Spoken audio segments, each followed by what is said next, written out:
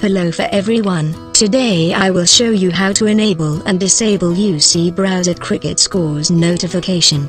In the recently released of UC Browser with a new Cricket Scores notification feature, this feature provides you live cricket scores, cricket news and cricket commentary in the notification bar like this. It is useful for cricket lovers who want to connect it with cricket always.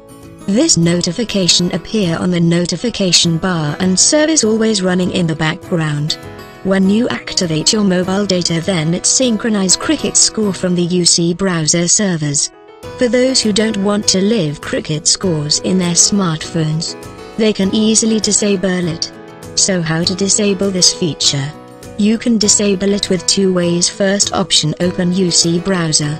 After opening it open menu option by tapping on menu button. Now drag menu option from right to left. Here you will see notification option and now tap on this option. In the notification option tap on the top of right corner. Notification settings option appear. Now tap settings. In notification settings option, you will see Cricket Live Score, System Notification Bar option.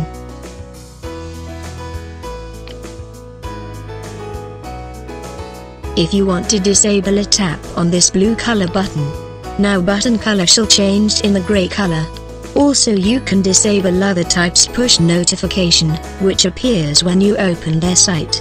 Now press back key and as you can see here that cricket score notification is now closed. If you want to enable it, follow the same process again which you have done before. Now again you will get cricket score notification in the notification bar.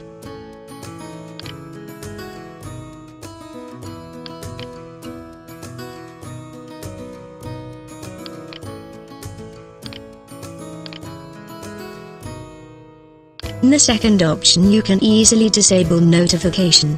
Just open notification bar and tap on Cricket Scores notification settings. By this you can directly get notification settings and you can easily disable cricket notification.